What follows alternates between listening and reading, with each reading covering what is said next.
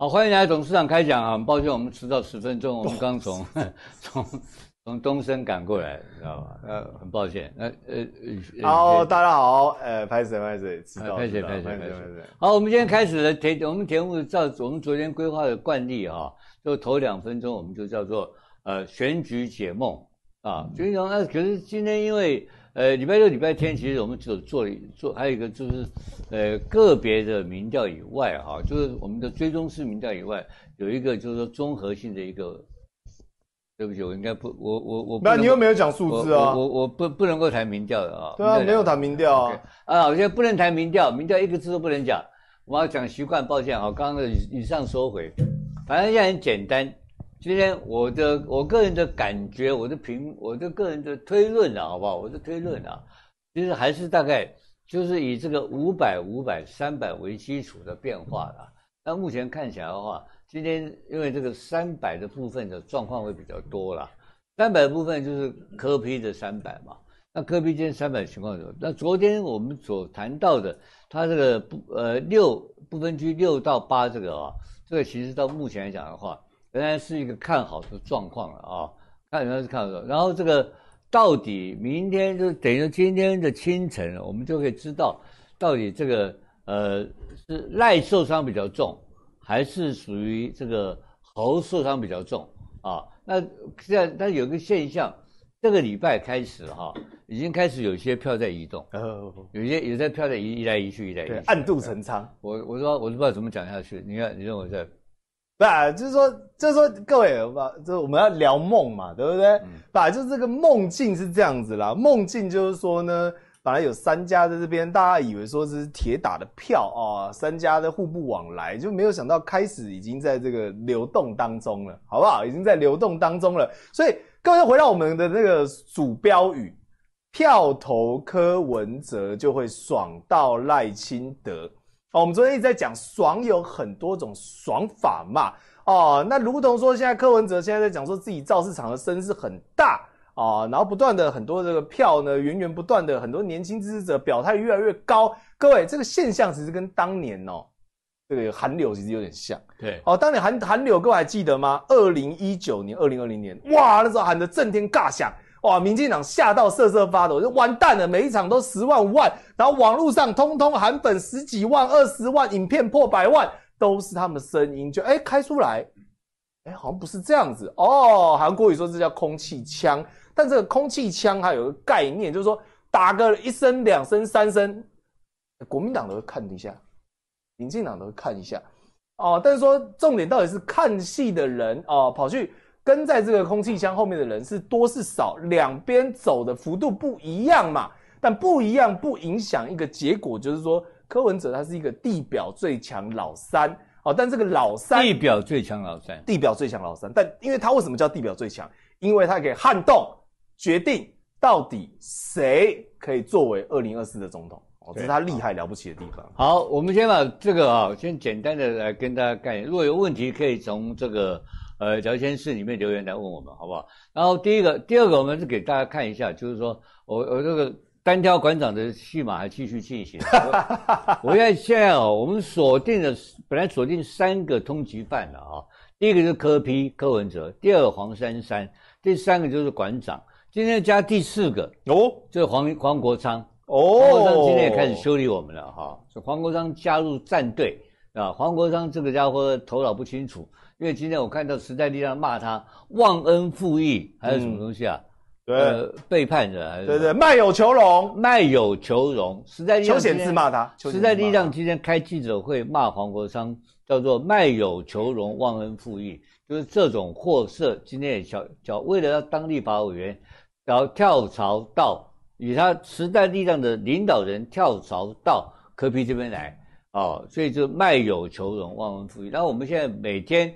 因为目前为止有一个现象，就是网络上呢，这因为我们当时解释过，我没有欠科批五百万，那第一个，然后呢，你们非要来用网络霸凌，就是说不是你们，就是黄珊珊跟这个馆长用网络霸凌，然后今天这个黄国昌也进来加，呃搅和进来了，因此我们在你们的这个攻击没有停止以前呢，我就每天骂柯批，每天骂黄珊珊，每天骂馆长，每天骂黄国昌，我就永远不会停，因为我没有网军来打你嘛，对不对？那我就一只嘴巴，我嘴巴就每天骂你。所以说，我现在单挑馆长，再重复单挑单挑馆长，什么东西啊？我不是要跟你打架，是因为你要留言，你要留言，那我说，那我亲自去听你的留言，任何时间，任何地点。我通通都可以接受，好不好？然后我们是用我们的知识，我们是用我们的学问，我们是用我们的这个整个整个的智慧，在台湾的媒体生存。我们是媒体的意见领袖，叫 opinion leader，KOL，呃，叫 KOL。年轻人这样讲，KOL。为什么 KOL？opinion leader 叫 KOL？对对对对对。哦，我不知道。Key opinion leader。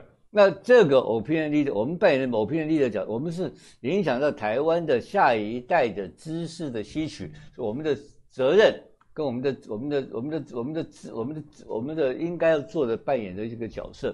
那馆长是不同的角色，馆长肌肉男。那我们要馆长，因为馆长每天他还是叫五百万人骂我嘛，所以我就讲，馆长你够肿，因为有人开你三枪，你被打在地上。把地上叫靠北靠步叫警察，你馆长不要找物质家打架，打架的对象，因为馆长也知道是谁开他三枪，明明知道啊，哪一帮他也知道，跟他以前同一个帮派的啊。你馆长够肿，你就去找你开你枪的人去报仇，不找我打架嘞，你找你开你枪的人啊去打几场，很简单，不敢嘛，他只敢欺负陈明文，只敢欺负那些有的没有的。胡说八道，就是纸老虎一个，你知道吧？居然要找吴子嘉打架！我现在跟你讲，给你指点一个迷津，你要优先打架的对象，你只要不要说打架，你馆长只要敢讲，我馆长要报仇，你他妈谁开我枪，我把你开回来。讲这句话我就佩服你，你他妈的孬种，你连这句报仇这句话，你的馆长都不敢讲。那公开讲报仇，我跟你保证，因为他不敢讲，讲完了，我跟你讲。可能又来了，哦，妈，又来了。好，我就把馆长部分讲完。我给馆长下个规格：你这个五百万的事情没有停止以前，老子每天骂你，骂你什么呢？馆长是孬种，被人家开枪以后不敢报仇，好不好？就馆长，我给他的台湾社会的定义就是这样子。那我吴子嘉没有不报的仇，千刀万里追，我盯上你了，好不好？这这馆长部分讲完了。另外一个就是。很简单，就是这个柯批嘛，柯老三，柯老三嘛，柯老三，我已经出，我已经每天在继续给你、给你、给你出、给你出赌嘛。请你很简单嘛，五千万的故事，五千万的游戏。因为有人，我今天看到那个有一个有一个没听过王尚志什么什么乱七八糟咖，他说柯老三现在拿六百三十万票，对。对不对？公开媒体讲六百三十万票，对。那我们的六百三十万票，我现在重复嘛。二零二四总统大选结果，柯文哲如果不是老三，吴子嘉捐新台币三百万，才五千万公益。柯文哲如果是老三，而柯文哲捐新台币五千万公益，按照你们这些柯文哲的狗的说法，柯文哲是老大嘛？对啊，六百三十万票嘛。那我认为你三百万票嘛。对你欢迎你够种，你们言行一合一啊。好，你柯文哲不愿意来跟我插没关系。你现在现在放狗屁的人，这些狗也可以欢迎进来插。你没有五千万没有关系啊，五十万也可以啊，十万也可以啊，大家来插嘛。然后按照合约规定订约嘛，签约嘛，都不要赖，不要跟我这边扯淡，扯什么五百万的没有无中生有的事情，只是用网络霸凌。网络霸凌一天不停，我一天就嘲笑馆长是孬种，不敢去找仇人报仇，好不好？这个这个部分，我现在确定地表上最强的老三叫做柯文哲，他的选票，我目前我的判断大概三百万以上，还有这个实力确实是有，他的不分区也有六到八席的实力，对不对？可是他不会当选。柯文哲不会当选，柯文哲不会当选，柯文哲不会当选，是地表上最强最烂的老三，好不好？现在进入 Q&A。好，第一题，董事长郭台铭会回来站台吗？郭台铭会，我认为不会耶，因为我是你的这个怎么用简体字？什么意思？大陆的周同学，周同学，大陆周同学，我认为周，我认为郭台铭不会回来站台。因为我是郭台铭的律师，我不建议他这样子做哦。因为很简单嘛，我现在来站台的结果，去压，等于是挺侯友谊嘛。对啊，万一赖清德当选怎么呃，办？就差赛居居，哎就差赛。对对对，所以我对郭台铭最好的方式是等到你们谁当选以后，我找我的高级的律师群，我找五十个律师来打我的官司，把我后面解解决掉，好不好？所以我认为郭台铭为了他的诉讼跟官司，他不会帮任何一方面站台，好不好？好，下一题，想请问吴董，赖皮跟哭批会不会在他们当选后特赦阿扁？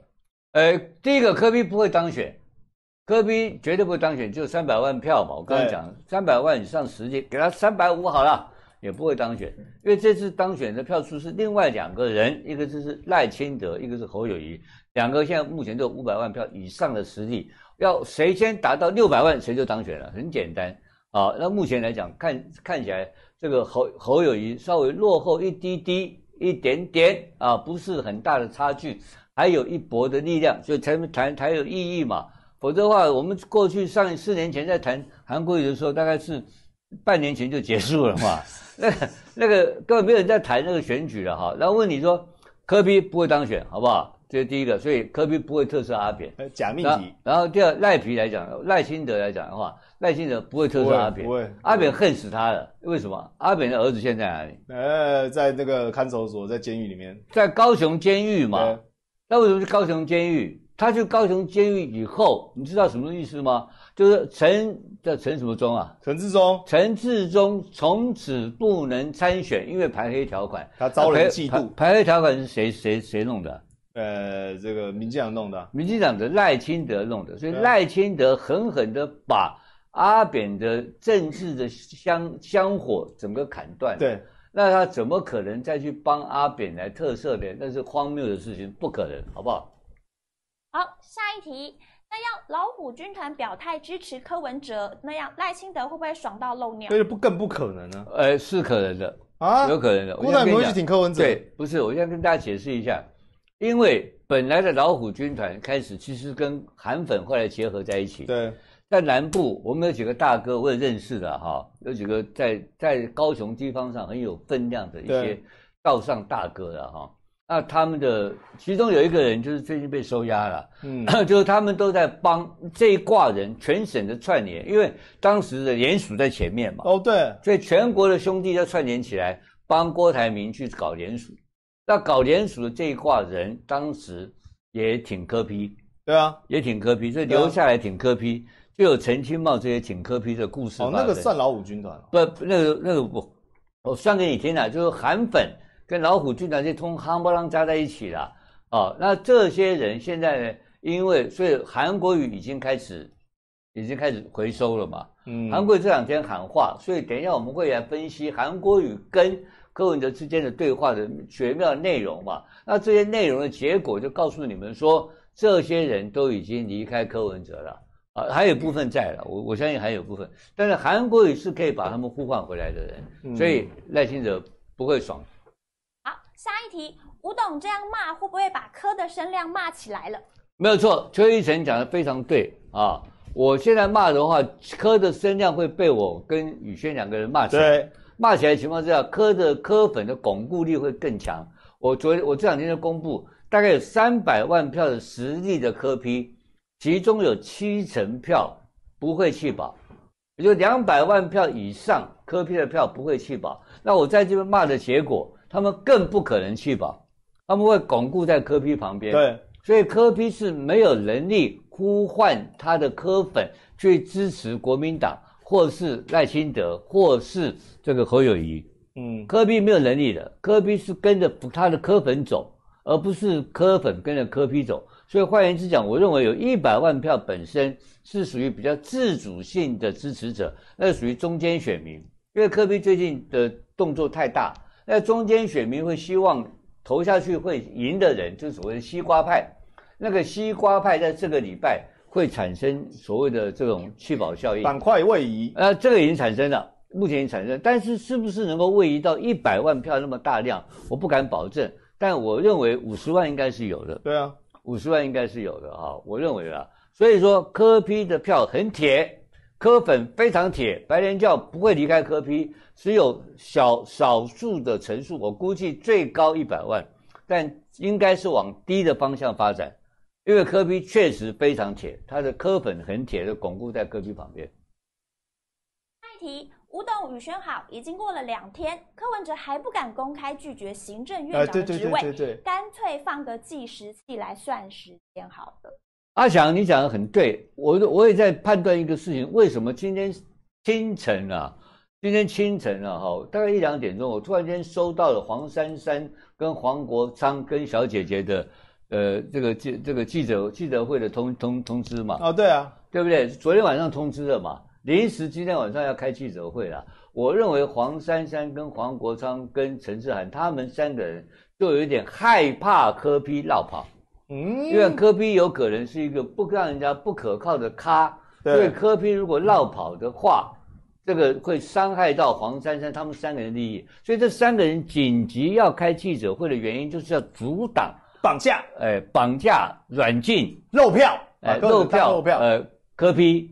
那所以那我也是跟他们三个一样，我也反对科批当行政院长。哦，但我觉得科批这个人太贪了，他会绕跑，哦，所以科批都不讲话。你看今天三个人出来开记者会，没有科批啊。对啊，对吧？没有科批啊，这个科比可以一起开啊，所以他们跟科比分开，三个人开记者会，修理台湾的媒的媒体，修理董事长开讲，修理东升，修理三立，对。对不对？修理跟台湾的媒体打架，对，没有一个政党是这样子干的啦，对。啊，也没有一个政治人物这样子干，还打错人，不，而等一下我们要分析他的内幕，但是这个打的动作，其实是他想要当行政院长，所以说不必计时器。阿强，我认为他已经有了贪念了。吴董，你要再笑他一次吗？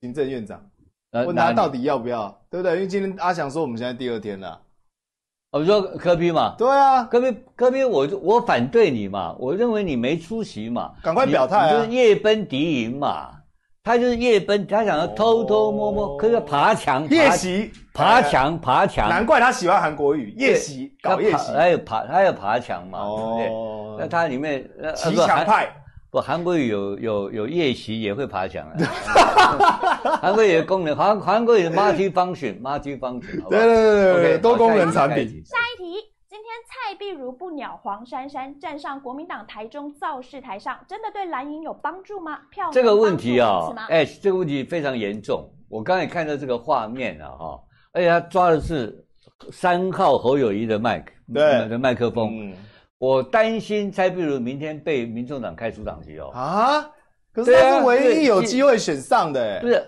可是他他开除可能更选上。我跟你讲啊，哦我担心明天民众党会要处分蔡壁如吧，因为这个是一个核心问题啊。蔡壁如今天这个话，今今天看出来，今天发生两件事。第一件事情就是黄珊珊修理这些跟侯友谊、跟赖清德有关的嘛，对啊，对不对？开始公干，全面公干，这是第一个嘛啊。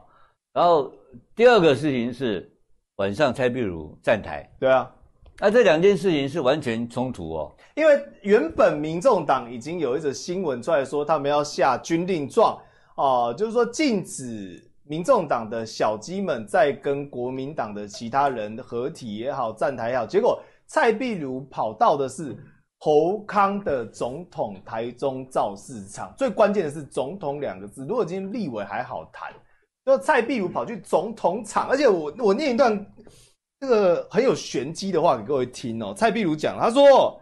在野立委候选人互相拉抬，对他而言，只要是民众党没有提名的区域都有合作空间。为了打败新潮流，不让民进党壮大，一党独大，我们要集中所有的选票投给理念相投的候选人，也许有一贯的政策哦。但是他没有谈总统哦，他最后补充一句说，区域立委一体可以合作，但我绝对不会违背我政党的初衷。他只有这样讲而已，他没有说但我支持柯文哲。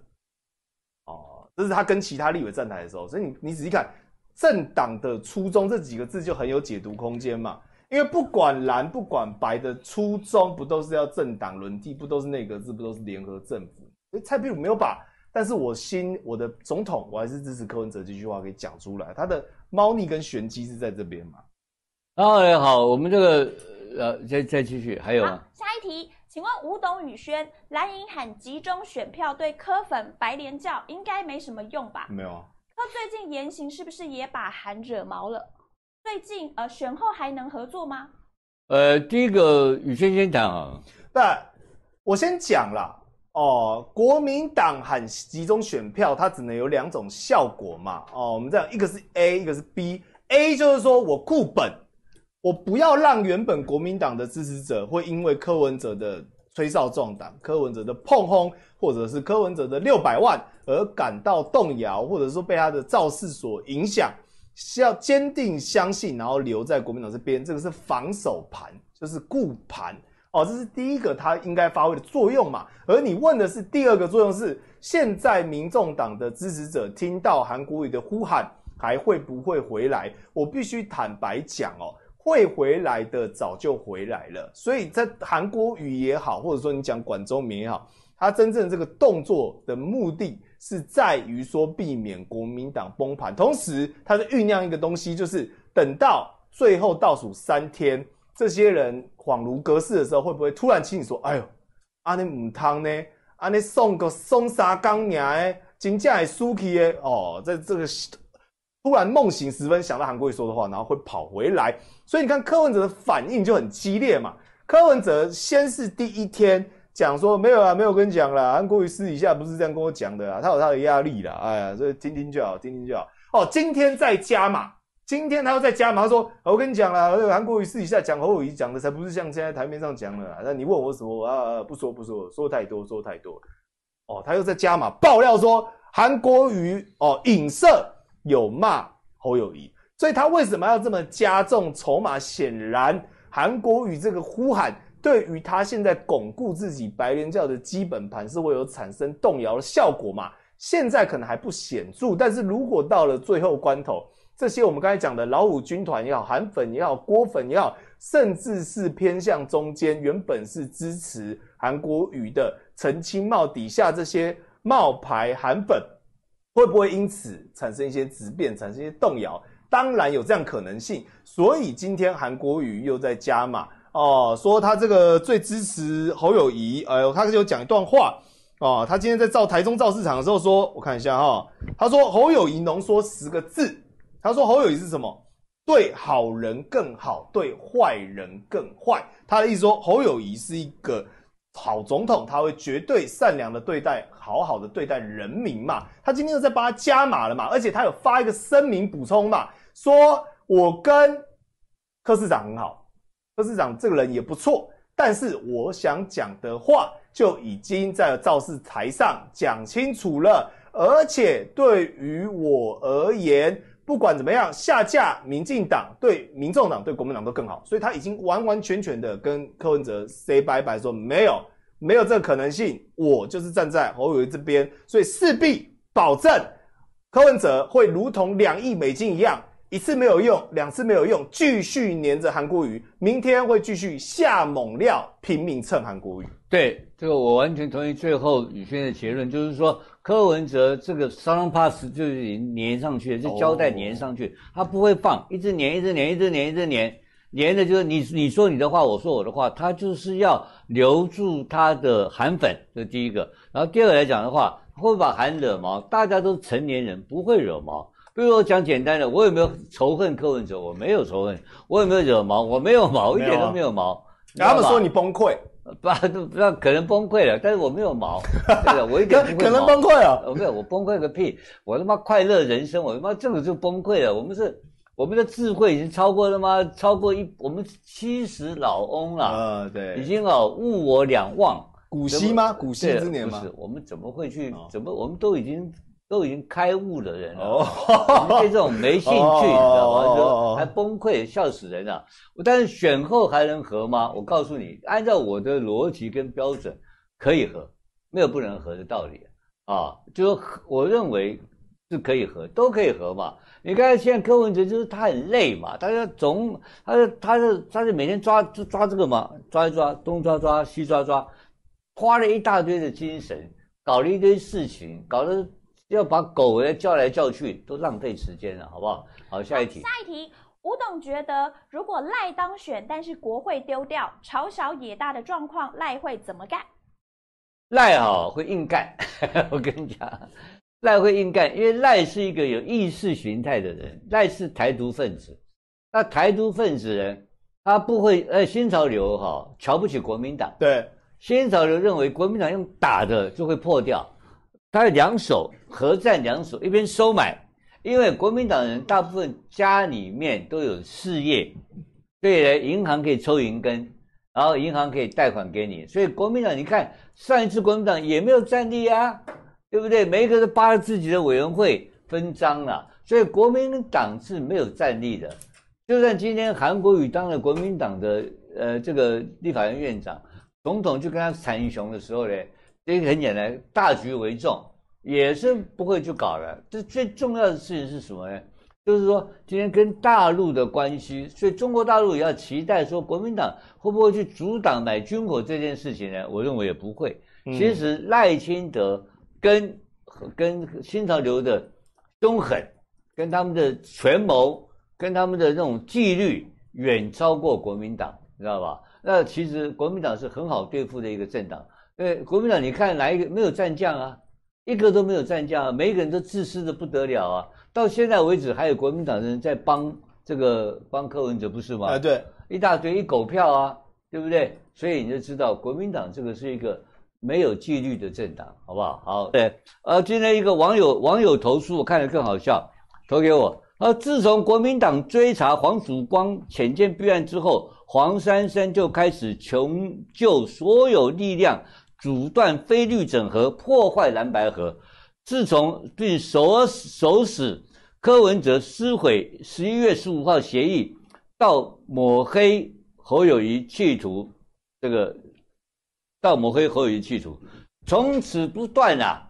黄珊珊就一直不断，黄珊珊一直在干侯友谊，一直干侯友谊，一直干侯友谊嘛，对不对？哦，抹黑，你看到没有？呃，就抹呃选后呃呃企图什么升高蓝白对立？我们把这这句话贴给大家看好了，这个大开个大框给大家看一下。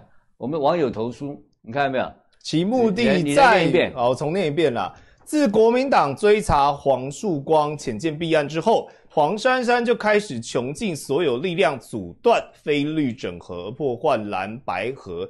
从唆使柯文哲撕毁十一月十五号协议，到抹黑侯友谊，企图升高蓝白对立，其目的在于选后带领民众党团与民进党合作，透过国会运作掩护潜舰弊案之追查。来，这个网友我觉得很有水准啊，应该我据我了解，应该是军方背景的吧，对不对？所以你看，柯文哲、黄国昌、黄珊珊两个是律师，一个大学法律教授。柯文哲说他不贪污青年的，碰到浅见弊案就转弯，转弯没有一个人去摸过浅见弊案哦，对，一个都没有。从我开始控告台北地检署控告之后，你们注意看一个事情，赖清德有没有谈过浅见弊案？没有，一句话都不敢谈啦。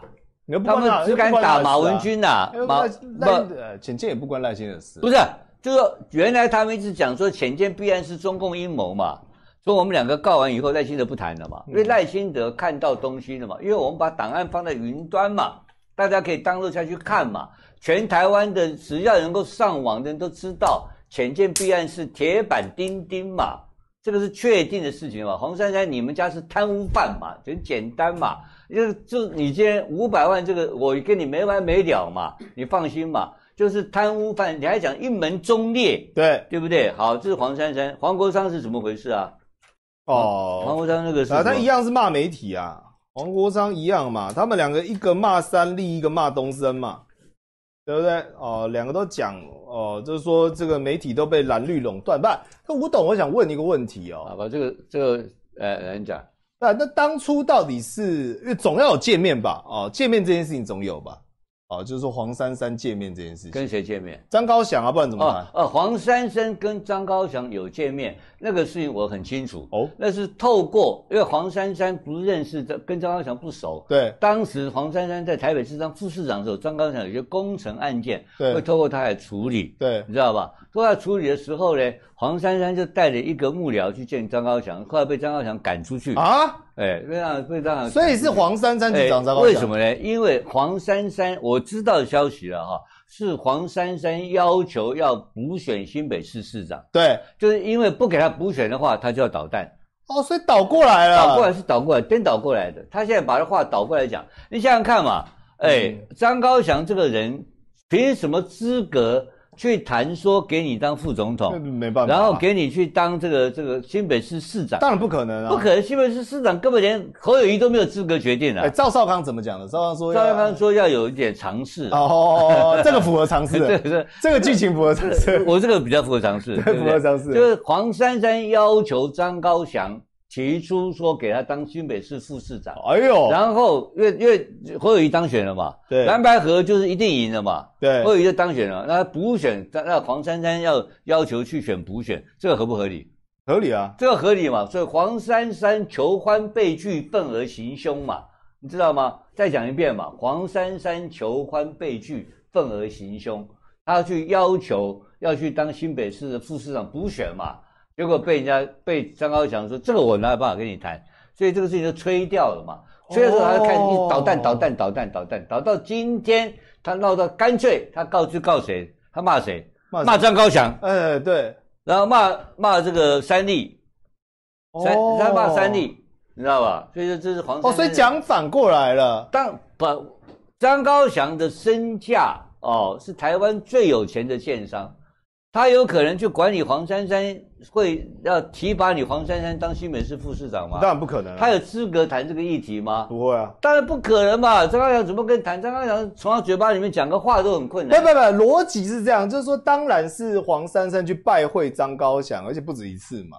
哦，这个呃，应该没有很多次，一次或两次。这个说法比第一第一次是张黄珊珊，第二次他就不见黄珊珊了，哦去了一次就被拒绝被轰出来。哦，所以这个这个说法比较合理嘛。被轰出来，被轰出来。那但但我想，他们今天踩到铁板，哎，我们是有一张图，对不对？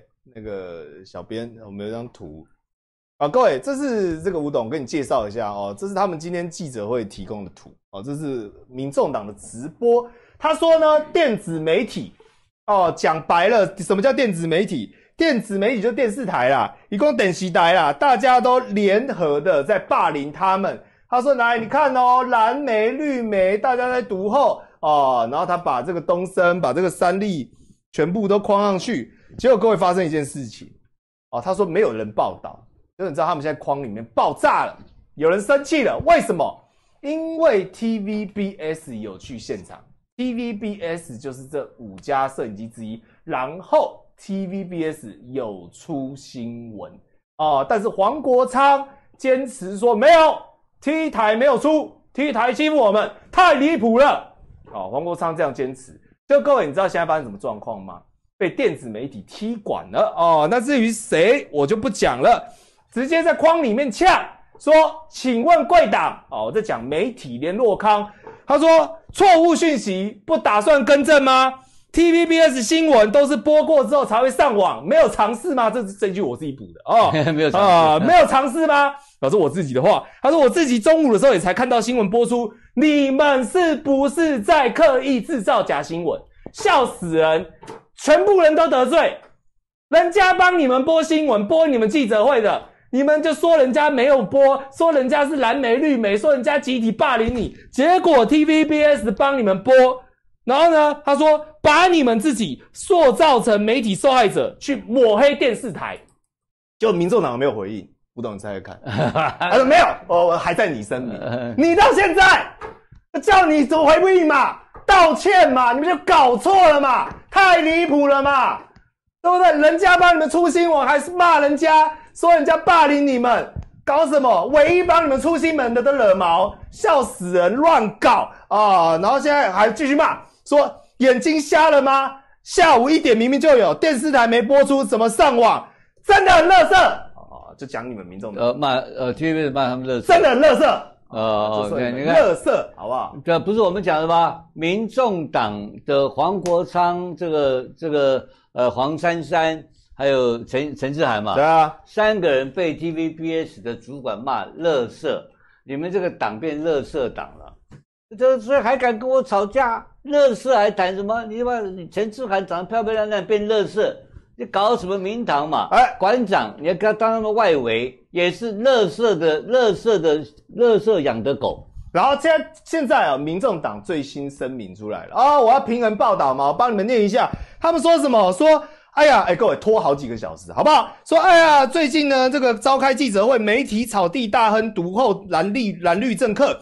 主题记者会，竟无电子媒体报道露出经查，TBS 有相关采访报道，相关资讯图卡与发言确实有误。后续证监会发表会上，不分区立北代表发言，因资讯未能及时更正，引述错误。对于这样的失误，我们深刻反省改进，但绝非刻意所为，再次敬上最深的歉意。但是我现在有一个问题，很想问吴董，吴董，因为你当过电视台的老大嘛，对不对？初期就一定要发新闻？没有这回事啊！初期多了，我们在台北市，我讲大概跟你讲，各电视台大概一百多台机啦，我们每天一百多组啊，在台北市大概配备五十几组了，一天一个小时进的新闻量，你 TVBS 来看的话，大概一百大概一百则新闻量啊，一百则新闻量，我们播出去的大概是六十则、五十则左右。对啊，这么简单，我比例讲给大家听嘛。哦，那那那那那少掉四十者都要跳出来，主要是就主要就是霸凌我们，就就白拍了，就把丢到，就是把袋子重新去拍了嘛。明天就拍别的了嘛？对，就简单的，我们那么多新闻要进来啊，对不对？那么我所以哪有规定说我去拍的一定要帮你报？那我们欠你又不是自助性行销。以前我的年代也没有自助，呃，TVBS 也不会做这种事嘛。新闻怎么自入嘛？就烂台才会自入啊，好不好？我们现在好，我们现在进 Q&A 了。请问董事长黄珊珊已经抓狂了，今天乱指控。三月份时东升要黄珊珊支持候选总统，给珊珊新北市长。请问珊珊多久没吃药了？这个这个我我因为我是医院执行长哈，我不是医生呐，我只能当执执行长是管医生的，我没有办法去诊断啊，诊断要到医院去诊断。你们你们另外给他建议，跟我我没有办法，好不好？下一题。下一题。吴董、宇轩，你好。选前五天，柯文哲的天后宫终于露脸开记者会了，但却是共同在野党，真的是顾哥哥不顾台湾人民，真替馆长感到为瞎挺不三不四的人而悲。对啊，这个这个 A A 这个 S K 啊，我现在讲的这个问题在这里啊，这个问题你知道出在什么地方吗？就是赵少康讲那句话，尝试，你知道为什么吗？为什么？他没有尝试哦，他就到四亿元水准。对，四亿元水准，那为什么四亿元水准的人会得到柯文哲的重用？柯文哲喜欢用比较低能的。对，柯文哲想要当神，知道吧？因为当白莲教主啊，你旁边那个豆桃啊，太聪明的话，你这个不行啊。太聪明的话，因为柯文哲是个猎人，他拿那个猎枪，你知道吧？去打兔子。他打完兔子之后呢，他会叫那个猎狗啊。把那个兔子叼回来，啊，他找比较笨一点的，知道吧？啊，聪明的人就像聪明的人会把那个兔子先吃完了，对，再去叼第二只。那黄珊珊呢？他会吃一半，再分一半给这个，叼一半回来，分一半给柯文哲吃。所以柯文哲喜欢用这种，人不是帮他叼叼叼猎物回来，对，然后还分他一半的人。所以黄珊珊的功能是，他有分柯文哲猎物的功能。它有必要的存在的环境，但是今天我看得很奇怪，突然间他开始大动作要干要干大媒体哦，我认为这个事情有有玄机的，我认为不简单。而且今天柯文哲没有参加，没有啊，所以我怀疑柯文哲私下在跟国民党在勾结，因为他会有很多他很多管道，像那个什么于金宝是不是？对。于金宝就这种人嘛，那就要被他害啊！不，还有别的于金宝嘛？对，还有别的于金宝嘛？我今天听说一个新竹的一个很老以前一个大佬，我听到说，哎呀，我来退科比桥啦。哦哦，啊，桥做肯定一定挖后的呢。哦，那昨天科比，呃，这样讲，应该是那个应该是呃呃陈陈佩琪的。对，陈佩琪去南部啊，去嘉义去哪里？我忘记了，我不知道哪里了，我不确定了哈。结果有一个民众党的资深干部哦，对，一位太太就冲进去，就说：“哎呀，这个这个陈佩琪啊，你要去跟柯比讲了，爱去做行政议长啦，对啊，做行政议长靠后啦，你知道吧？就国安把他拉开了。嗯，所以我觉得有很多要求建议科比当行政院长的风的消息，因为他如果当行政院长的话，因为他这一次哦，分啊，就算八席立委好了。”你还有大概有二十几个当不到嘛？对啊，你还有一大堆你的党内干部当不到嘛？可是如果你当行政院长的话，哇，雨露均沾了，嗯，大概用五对分嘛。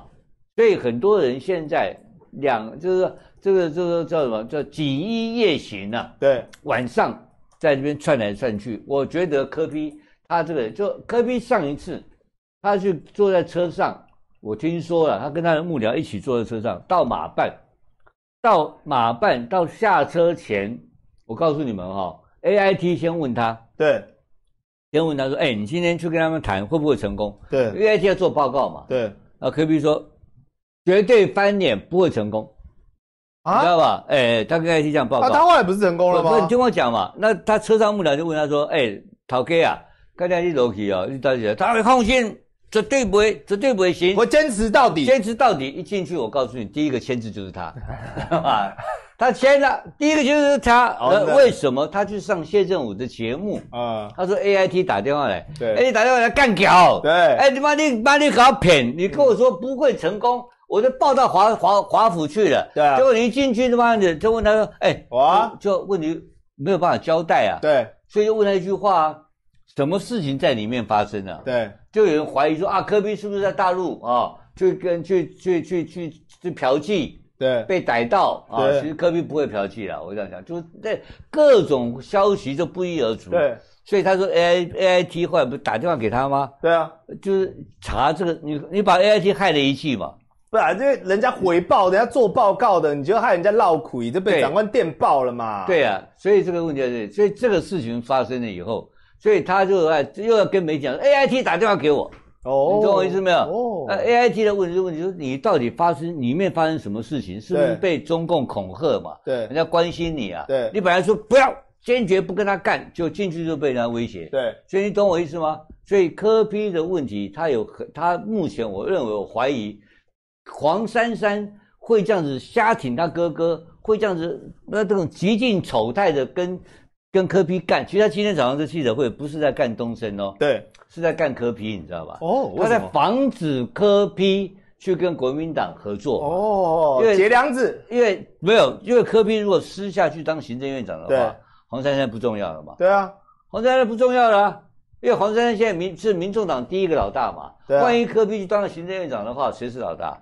哎柯 P 是老大，柯 P 是老大所以这才是黄珊珊今天下到在大清早要开记者会断因。断柯文哲后路了，断柯文哲的后路，对，断柯文哲这个是对的后路了，好不好？好残忍。好，吴吴董，你知道那个黄珊珊有接受一个媒体的访问啊，他说未来进入国会，他最想要推动的是司法改革。哦，啊，那完蛋了嘛，那完蛋了，那黄珊珊完蛋了。为什么黄珊珊要到司法委员会呢？要保他哥保护哥啊他，哥哥啊，哦，保保护他哥哥啊。我最想要进国会做的事情就是护航我哥哥。就是保护他哥哥啊，对不对？他你放心，你哥哥跑不掉的啦，你哥哥坐牢坐定了，只要我在，哎我吴子嘉在一天啊，我跟你讲，你们都跑不掉，你不你一个阳春立委，你能改革什么啦？屁用啊，对不对？你笑死人你要知道我的厉害啊！我他妈的为了干他妈的桃园的，为干台南的贿选啊，我关键一个礼拜收押六个啦，我每天点名就收押了。话就放在这边，你以为馆长会一直站在你身边吗？等到你没流量、没有价值的时候，馆长就会找下一个人、下一个目标了啦。话就放在这边，我们几个月后再来看看呐，笑死人。好，好下一题，网友问会不会又像两亿美金一样都不说清楚就又翻页了？那个是呃，那个是那个科比跟于金宝嘛，那跟我没关系嘛，对不对？可是我吴子嘉，你去打听看看我过去追踪的案件，哪一件案子有漏掉过？我告出去了，怎么可能收回来？我嗯我我跟你讲，我第一时间跟跟张宇轩两个到台北地检署去告，什么意思？我我你跟你巧的嘛，嗯我要跟你瞧，我为什么要告？我要跟你瞧，我跟你一样开记者会就好啦。我给先了，开记者会哦，赶紧开一堆哦。对啊然后等赖清德来请我吃饭哦，等黄伟、黄曙光请我吃饭哦。这些王八蛋贪官污吏，别的本事没有，他来跟你瞧的空间很大嘛。我来我来懒觉，我不跟你瞧嘛，我就一次第一时间给你告进去，就和你不会瞧的啦。我不跟你谈，你知道吧？台湾最狠的这种事情，就是我吴子嘉一个人啊。我跟你讲，每一个记者，很多大记者啊，要等吃饭的啊。他妈的，宇轩是年轻还没有被污染嘛，对不对？走我们这条路没有饭吃啊，就跟他拼到底了，哦你知道吧？拼完了就是拼一个妈的，拼一个风评民生嘛，好，对不对？好不好？好，下下一题。好，下一题，请问刚刚卢妈说妈妈要继续留在家，吴董事长有没有什么评论那论？记者乱写吧，我说他是第二任的行政院长，他写成下一届行政院长嘛。对啊，第二任什么意思？就是卢妈要当完两年后卸啦任以后两年后啦接行政院长嘛。所以我的评论很简单，记者误载误载错误嘛。第一任管他第一任可能是朱立伦嘛，对不对？然后朱立伦干个两年以后给卢妈干嘛？嗯这个这才是对的事情嘛，好不好？那个记者昨天写错了。好，下一题，吴董，请问民众党的七到九席以后在国会能发挥多少？万一国民党过半了，是不是就不用鸟白莲？那民进党会去跟白莲合作吗？不是他不会啦，他只能他他六到八席啦，那六到八席它的功能呢，就是去组组成的立法院院长跟副院长就这样子而已嘛。那组成完了以后，那真正力量在哪里？在国民党嘛，嗯院长在国民党嘛，你副院长有个屁用？你有几个？你能够招到几个招委嘛？有几个委员会嘛？副院长坐在那边的就一个功能，做一天开会。啊，一般的情况，膀胱不好的话，包尿布，要包一天，知道吧？因为他没有时间上厕所，你知道吧？所以我告诉你，没有屁用。立法委员，我再讲坦白一句话，我吹个牛好不好？我吴子嘉今天在台湾一百一十三个立法委员，哪一个人敢他妈对我不客气的？没有，一个都没有啦！我讲坦白的啦，从院长开始到副院长到妈的立法院，每一个一百一十三个，大概快了嘛，每一个看到我都客客气气，还敢得罪我？不要妈的想都不要想，把看到我他妈旁边就就就溜溜走了吧！我他妈杀无赦，我我我会怕立法委员啊！立法委员要尊敬我，讲难听点好不好？每天送礼给我的都立法委员、立法院长。他妈最好不要惹我，谁都知道惹了我倒霉嘛。怎么会有一个神经病？结果碰到两个两咖，两咖，哎，黄国昌珊黄珊珊哎，两个都会赚钱的。黄珊珊搞工程也有搞工程啊，然后他妈的黄国昌又搞大同啊，要搞大同的案子也有搞钱啊。你们两个都偷鸡摸狗，居然敢来惹我。还有另外一个更妙的，他妈的张荣华他也干了。啊，对啊，啊，张荣华跟我有好朋友，张德华过去跟我一起合作投资民事的，大家都忘记了。哎妈，跟我哥们呢，你妈空空的，你妈你一下把我好朋友全得罪了，我们要三个绑在一起干你这个王八蛋。好，下一题。好，下一题，选前一周是否会有关键震撼弹出现，影响选情呢？如郭董表态或中共借选的动作。嗯，不，郭董表态就不是震撼弹呐、那郭董现在这他只剩残残余价值哦，就残余价值，就顶多说有啦，就是一点点，但不会是震撼弹。那我刚刚忘记跟各位补充一件事情哦，你们觉得管中敏很兴奋嘛，对不对？哦，说有个神秘嘉宾，哎，高雄场管中敏。我有听到了，国民党后面应该还是有陆陆续续好几个神秘嘉宾呢。啊，那郭台铭会不是会不会其中之一？吴董觉得不太可能哦，因为他不会去赌这个注。但显然还有一些大家意想不到哦，我们讲百工百业各行各业的一些意见领袖一样啊，就是 opinion leader。我们刚才讲到的，很有可能会出来表态。但你说中共借选哦，中共借选现在这个东西已经不是震撼了。现在是在民进党内部炸锅了哦，那这个问题要去问罗志正。哦，现在的问题是罗志正的中共界选怎么好像越看越不妙哦？我觉得问题应该是这样的。好，我来补充一下好不好？请你们等一下看，等一下十一点的时候的关键时刻啦。因为关键时刻今天就做到说罗志正的录音带。罗志正有两个东西，一个是罗志正的录影带，如罗如他一个就是叫做闲诗级的，他有这种性爱录影带。性爱录影带不重要，他有刘卢志正今天爆料一个非常被人家爆料一个非常严重，就是他跟蔡英文总统两个一起被偷录音。那偷录音呢？刚刚我们在关键的时候，呃，观众们呢，对不？对，那些名嘴怀疑是罗志正偷录音，是罗志正偷录音哦。然后呢，我就提供了一个方案，什么方案呢？就是上次我跟宇轩做的，就是做海坤号一模一样的这个事情。宋鉴定，送鉴定嘛，国民党国民党超瞎的嘛，国民党立委吃大便嘛，你知道吗？很简单嘛，你为什么要去听他妈的调查局的？为什么要听刑事局？自己做嘛，自己做嘛，委托国外机构，两天就做好了嘛。对嘛？就两个嘛，两个做声纹辨识跟有没有剪辑变造嘛，做完就没没有，就声音就好了啦。对，就英文辨识完了之后，罗确定是罗志的声音，你就开记者会干他了嘛，因为那是国安问题嘛。那罗志正为什么要我讲讲？如果被被证明了、如果证明那个一声纹声纹变造是某位立法委员的话，那我问你嘛，可不可以？那这个就开记者会啦。这是什么问题？国安问题，那你如果是某位立法委员，你录这个音干什么？对啊，你录给谁什？么目的？不是录给谁啊？对帮帮谁录的啊？对对不对？后面有没有钱给你？对，后面是到底谁啊？是老美呢，还是老共呢？哦所以这在，所以这个就是震撼弹嘛。那国民党是超瞎的嘛？放在前面的震撼弹不会剪，捡到枪不会捡，然后这个那赖清德更瞎嘛。这怎么可以讲中共借选呢？对这个怎么可能？这一看就知道自己人在录的嘛，对，对不对？就那么简单，所以赖清德胡说八道、鬼扯扯软蛋，你知道吧？这个事情我要归纳结论很简单，第一个就是某位立法委员给他录的，然后第二个声纹辨辨声纹比对，声纹比对，我们上次我们上次花了四天时间送到美国对出报告，我就出声纹比对报告，出第三第三方证明，有国际机构的报告。你现在国民党找关系，叫他快一点，一天明天就给他报告做出来。可以啦，电脑跑很快啦，电脑也是跑。现在电脑很快。好，你国民党只要把这个罗志正的东西送到美国去，礼拜二、礼拜三就开记者会嘛，就很简单嘛，一定是有某方某一个方面的人，他不会只有录他什么去去关帝庙啊，去去什么有，他一定是有录其他东西，他有谈到国防外交问题嘛。有国防外交问题的时候，这是严重的国防泄露国防机密耶。对然后这个东西居然国民党没有人去搞，对，还有我们在这边分享我们的经验。国民党重点不在于影片，在录音档，录音档录音带好不要搞错重点了。国民党是猪嘛，国民党一点战力都没有嘛，对不对？呃，一样啊。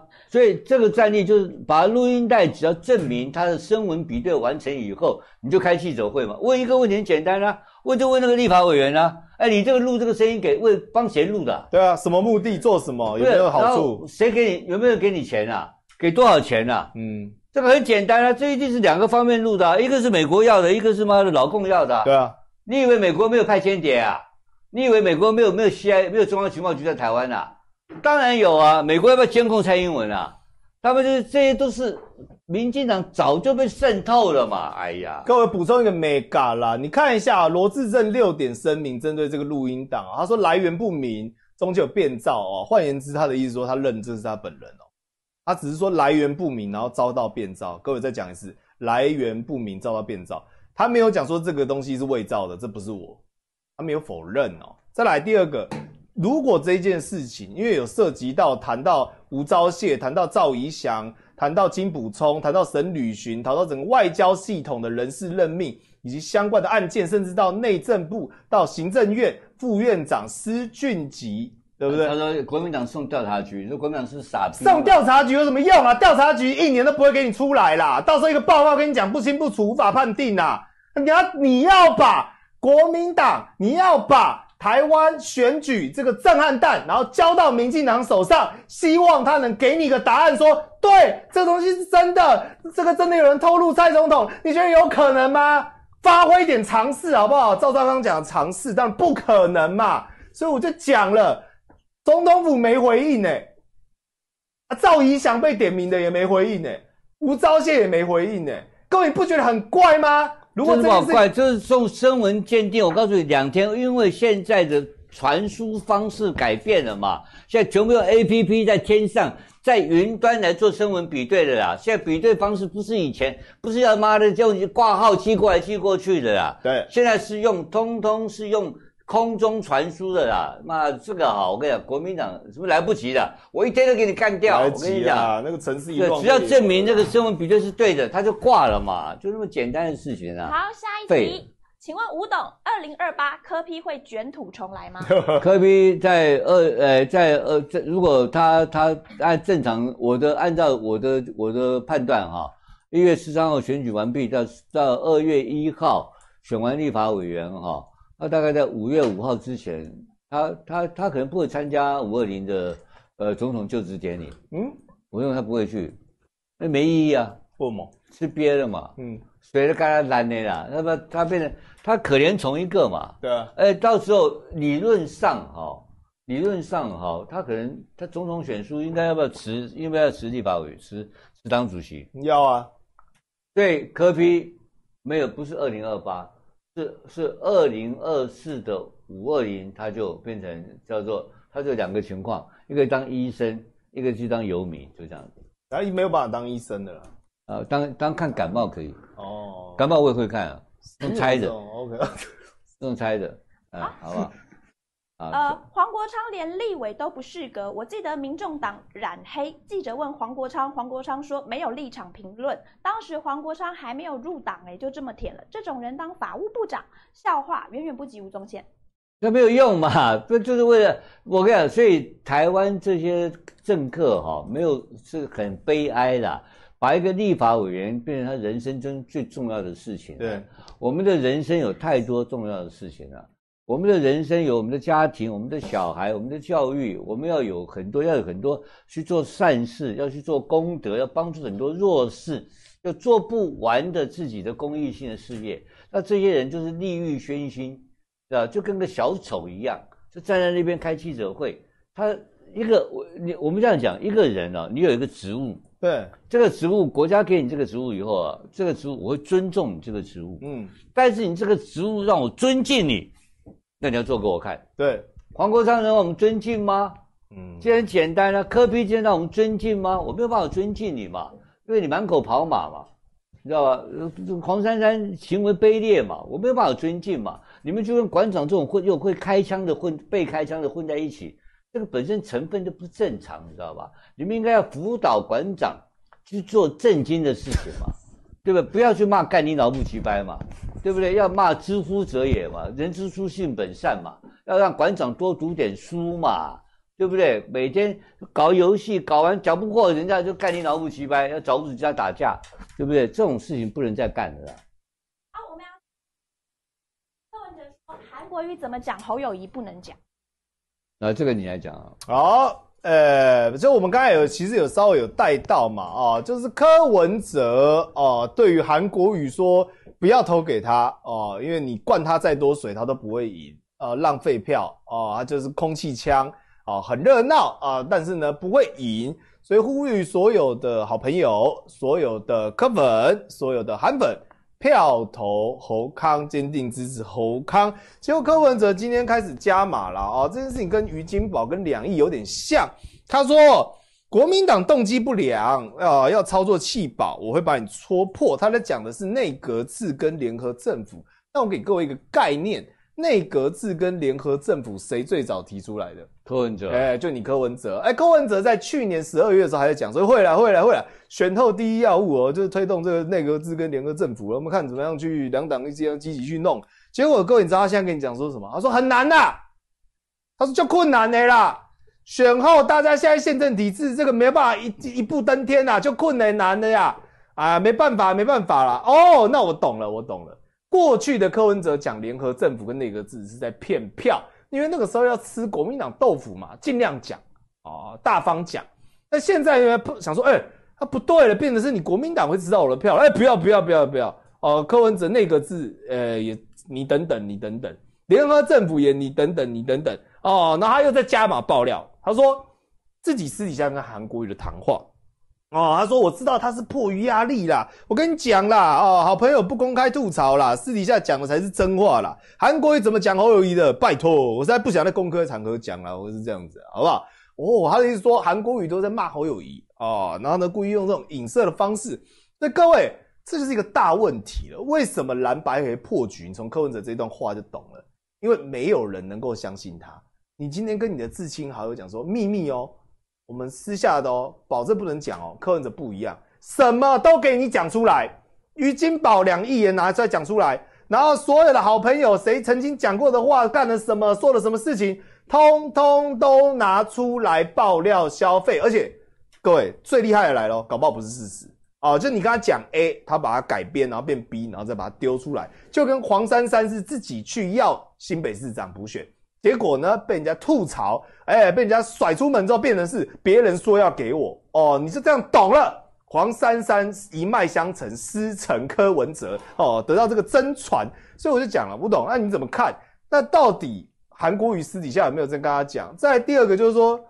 那柯文哲到底在玩哪一招啊？为什么还是要紧连着韩国瑜？不，首先第一个，我们大家很辛苦啊，都要去解读柯文哲，对对对对对对。因为柯文哲一个人哦，我们每一个他的讲话是浮动汇率，对，他每天在变变变变变，一直在变。要不他为什么他能做到这个样子，还保留那个态度？对，这才是厉害的地方哦。其实其实一般人，我对这个我有深刻去研究哦，就他没有中心思想，对，他没有一个道德感，对。这个人呢，当一个人完全没有包袱的，对，他对人不负责任的，对，他没有道德了，对，他翻脸无情了，对，知道吧？他没有，他也没有任何的这个责任感了，对，这个他就没有核心思维，你知道吧？对，他妈妈他也骂，哦，他骂，他多骂，他多骂，他每个都骂，他每个都骂，你知道吧？所以他就是一个，所以他在他的中心的核心部分是空洞化，对，所以他变成有什么好？他没有挫折感。嗯，所以每天讲话，你你讲完我的，我说好好好，明天讲完了，我明天就变，后天讲完后天变，他的一路变一路变，他的变的过程当中的最重要的理由就是他没有核心思维。我懂了，哦，知道吧？所以大家认为他变色龙，其实不是，他是空洞，对，他是空洞化，所以他的东西，柯文哲讲话只有标题，只有标题，再就是骂人。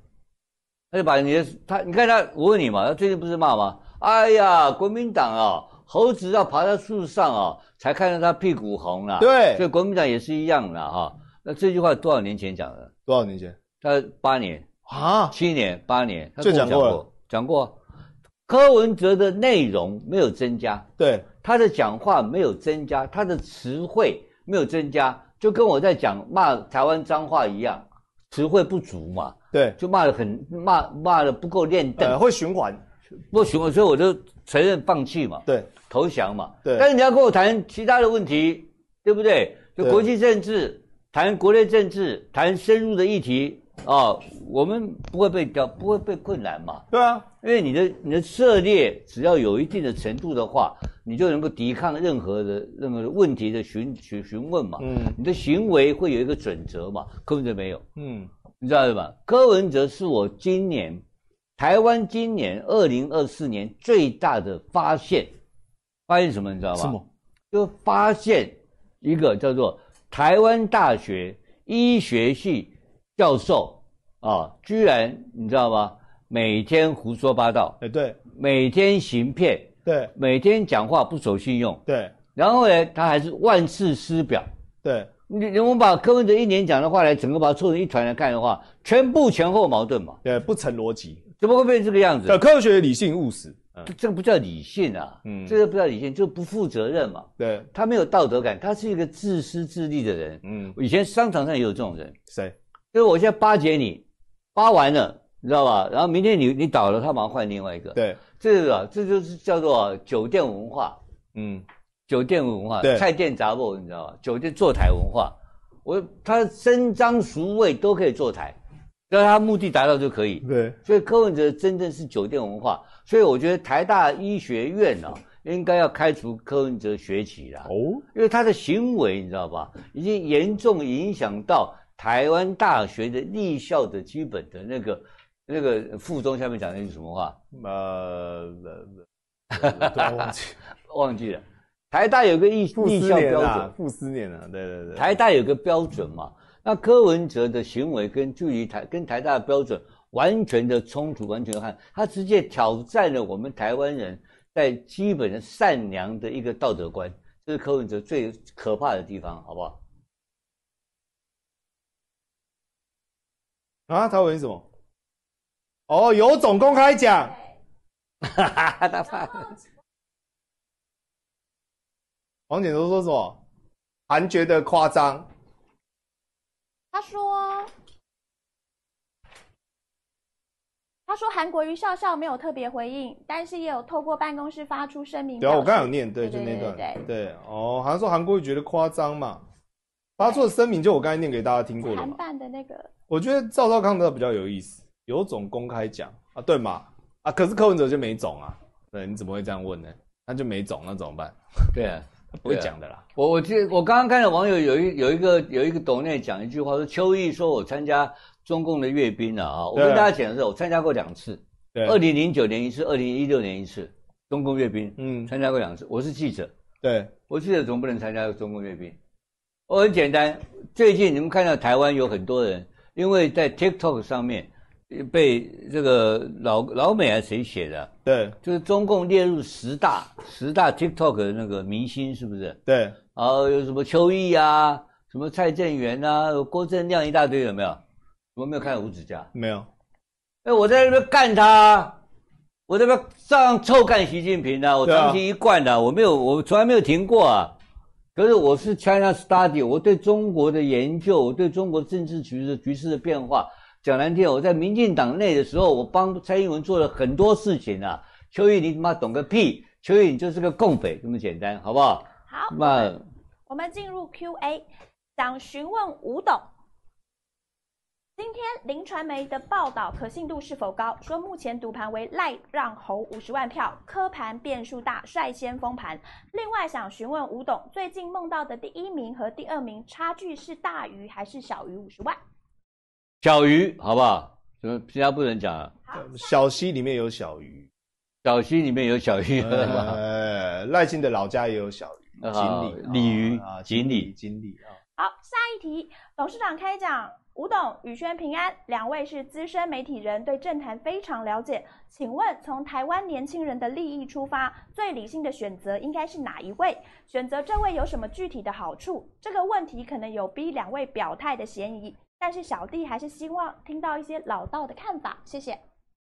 啊，我我我先讲好了啦哦，因为我这个道行比较浅哦，这个我们等下再推这个老道行出来。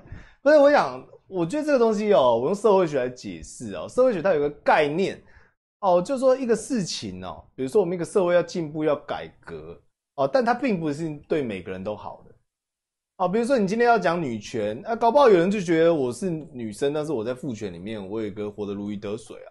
哦，这种人你没有必要去强迫他接受你的女权思想，但当有人受到压迫，当有人觉得不公，当有人觉得需要改变的时候，这个时候哦，相关的权利就需要去伸张。所以你现在问的这个问题哦，是对于有需要的人。如果你现在觉得说台湾这个社会对你来讲很理想，过得很好，那你自然而然就会去投现在执政党嘛。但显然不是嘛？为什么我一直主张要政党轮替嘛？因为多数的台湾支持者，包括五成、包括六成，这些人都公然认为说，现在自己的现况不好，经济不好，社会不好，治安不好，状况不好，所以需要换人改变，否则再让民进党继续执政八年，这样子恶化的现象会越来越严重。这是我的逻辑嘛？我一直再三强调说，我是一个政党轮替派。哦，永远的在野党，我希望能够达成多数人民他们心中所想的想法。但好，那你竟然排除掉民进党，最后只剩下两个政党啊！啊，但是有一个政党为什么我根本就不想谈？因为有一个政党是金光党啊，它是诈骗集团啊！啊，民众党就是诈骗集团。民众党根本没有执政的能耐，也没有做好执政的打算，而且也没有作为一个总统候选人所需要的高度、跟品格、跟格调。如果给他当选，当然这件事情不会发生，那问题只会是灾难，因为德不配位嘛。